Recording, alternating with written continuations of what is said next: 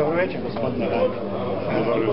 Mi e, koji smo upoznati sa našim Domovinskim ratom jako dobro znamo gdje ste vi putovali, e, što ste radili, e, čime ste se bavili u ratu, koliko ste pomogli našim ljudima. To je svima jasno, pa stoga ne trebamo o tome puno pričati. Ali možete nam reći nešto o priči gospodina Tuđmana, o budućnosti nas Hrvata, promjeni vlasti, eto ukratko, eto par minuta ako možete našim čitateljima sa portala javno malo nešto reći o tim stvarima.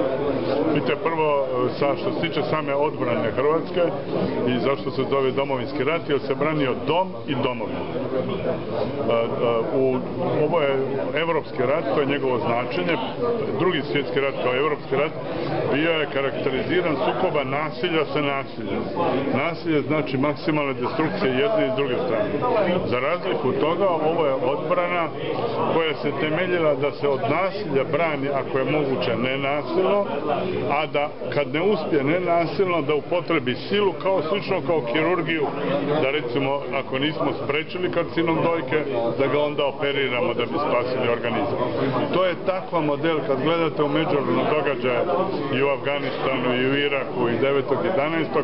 To je prvi puta u povijesti da je tako integrirana nenasilna metoda sa minimalnom upotrebe sile, znači jedno doista moram reći liječnički, pošto sam ja bio sa mojim predsjednikom Franjom Tužanom i strateg, mi smo upotrebili u ljudskoj povijesti prvi puta takvu e, strategiju i imamo odgovornost da to damo svijest.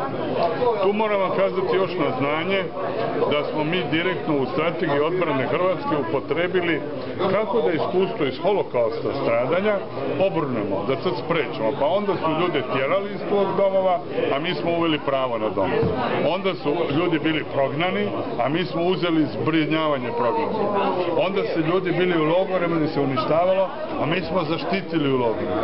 Onda se provelo genocid, a mi smo sprečili genocid, tako da se mi sada radimo na tome ovaj projekt. Što se tiče dalje pravljenja ovaj, e, e, države, ja mogu reći ovo. Kad smo razvijali strategiju na početku, ja sam gledao što da radim i onda su mi pali na pamet pravednici među narodima, to je skršani koji su spašavali židove u drugom svjetskom ratu. I ja sam onda postavio ovu hipotezu. Ako su jednom postojali dobri ljudi, postoje uvijek dobri ljudi. I idem se osloniti na dobre ljude. I ja zahvaljujem svima, jer ja sam dokazao i dokazao se da postoji ogroman broj dobrih ljudi. Ja se upravo spreman povodom naše punoljetnosti poslati jednu listu dobrih dijela da bi se dalo ime trgovama, trgovama, ulicama i tako dalje. Druga strana država. Čovjek da bi se postojalo ima se obavezu da se kao osoba, da se funkcionira kao osoba u obitelji i zajednici i u državi. Mi smo počeli uspostavljati državu, ali evo niko ko ovo gleda ne može mi reći kada je mogao na televiziji gledati emisiju o demokraciji. jer to nije dopušteno, nego su dali proglas kod su ovaj, koje bi se trebale redovito razvijati. Ne mogu vidjeti, ne znaju mi niko ko je ovo gledao kada on objavljuje tekst u medijima, niti kada može čitati mišljenja ovaj, drugih ljudi da se vidi. Znači, i moram reći da je predsjednik Tučman od početka razvijao državu onako doslovno biblijski kao onaj oblik zajednice koju je narod nije imao. E, hrvatski narod ima iskustvo odgovornosti pojedinca i formiranja i ovih i timova, a ne države. I sad je on pristupio izradi države i mjesto da se to nastavi 2000. to je 2000 prekinuto. I pod besmislicama, a najsigurniji put da se razori Europa je nestvaranje Hrvatske države. Najsigurniji put da strada Europa je sramota e, Hrvatske države. Recimo sada topnički dnevnici, ja sam uvjeren da današnja Europa postavi zahtjev da je postojala u zločinačkom potkazu nepoznata suradnja između marsijanaca i ovaj, hrvatskog vodstva, da bi hrvatsko vodstvo produciralo marsijanske, ovaj, marsijansko komuniciranje.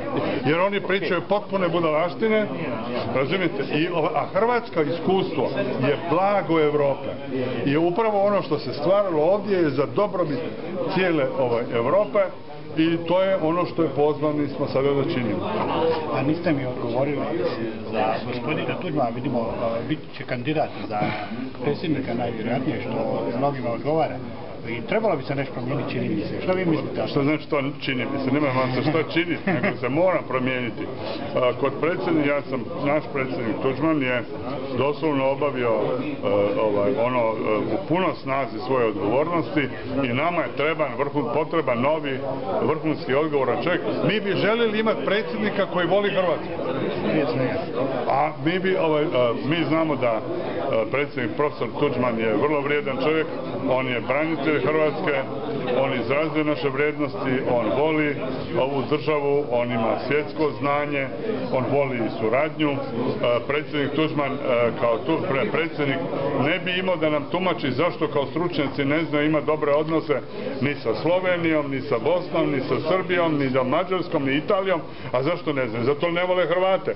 Onaj koji će voliti Hrvate imat će dobre odnose i s drugim narodima. A ovi pošto ne vole vlastiti narod, onda ne mogu komunicirati ni sa nikim drugim. I predsjednik Tuđman, ako onaj koji ovo sluša, ja sam siguran da postoji i bolji čovjek od profesora Tuđmana za predsjednika, samo ga niko ne zna navesti počeši od mene i ako ima među neko, među vama koji e, voli svoje dijete, koji voli svojeg bračnog druga, koji poštuje svoje roditelje i koji voli svoj narod, e, onda će biti za njega. Hvala vam lijepa. Koliko sam shvatio i koliko sam čuo, vi ste gospodin Bešić, ovdje Sinjanin naš, a došli ste na predstavu knjige gospodina Tuđmana. Vi možete reći nešto o, o knjizi, o, čemu se radi u knjizi, vjerojatno ste upoznati. Pa, profesor Tuđman je jedan e, znanstveni način precizirao podatke.